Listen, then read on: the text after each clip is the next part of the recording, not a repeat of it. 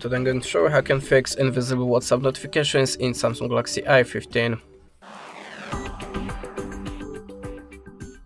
So, at the start always check your DND mode. Open the top menu, expand icons and check that you have deactivated the disturb mode mode.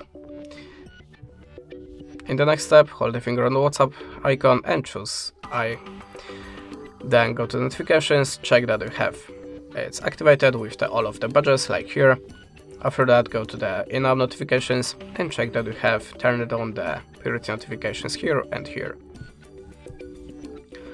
After that try to reset your app, so go to the storage, make the backup of your messages before and choose clear data. Choose delete, after that log in again to the WhatsApp app and check your notifications. If you still don't have it, let's open settings then go to the general management, select the reset and choose net mobile network settings. Tap on the reset settings, through the pattern and tap on the reset settings button again.